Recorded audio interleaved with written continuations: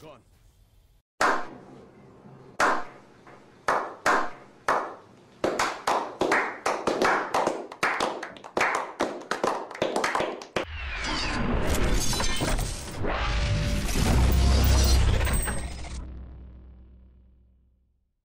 Hello everyone, what is going on and welcome back to my channel for another video today.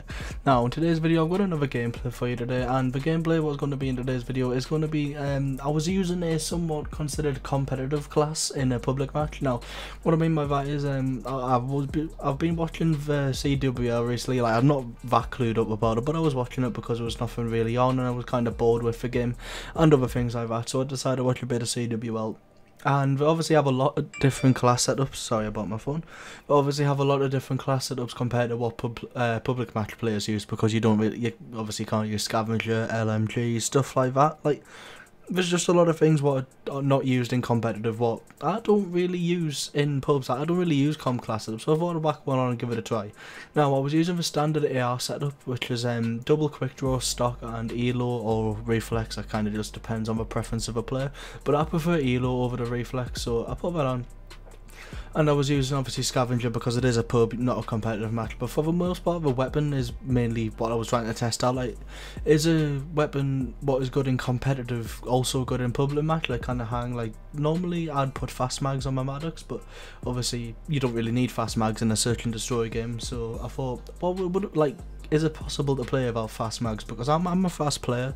Obviously, I'm always reloading. I'm always getting into gunfights. So I thought uh, at first I wouldn't be able to deal with it, and I'd be like find myself always out of ammo and stuff. But I actually did fairly well. I got three nuclears on the day of recording this, and two of them was was with this class setup, and the other was with my uh, trusty Vapr class.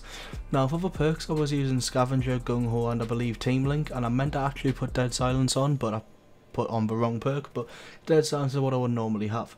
Now, as you can see in this gameplay, I'm kind of beaming kids with this. Like, it seems really accurate. I don't know if it was the lobbies we were in or whatever, but the hit detection seemed really, really clean in this lobby. Like, the bullets I was shooting was actually hitting people, which is less than I can normally say for this game because this game has terrible hit detection because there's bullet travel time in this game rather than just a simple hit scan like every other Call of Duty game ever.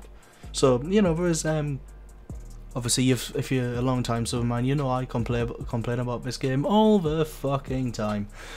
But today, to be fair, the day of actually me getting this gameplay, it wasn't even that bad. It was kind of fun. Now, I just want to like touch on things like I don't know if it's YouTube itself or my videos and everyone else's videos, which would be obviously a very big coincidence, but the people who are sub to and I watch a lot, I don't want to name names because I don't want to like seem hostile, but I've I've noticed a lot of people who I watch as like videos like their views seem to be really on the download, and I can say the same for me. Like normally, I can pretty much guarantee my video to hit 100 views on the night it's released and then maybe surpass anywhere from about 150 to 200 within a few coming days.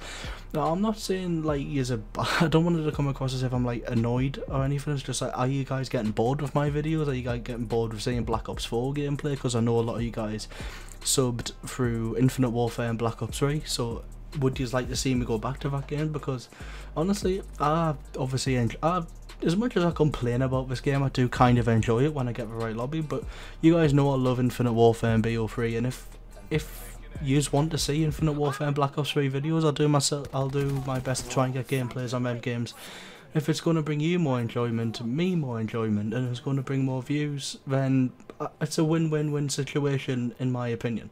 But obviously I'll continue to do BO4, but I just I just noticed that mine and a lot of other content creators who I watch videos were a lot lower in views recently compared to what they normally should be.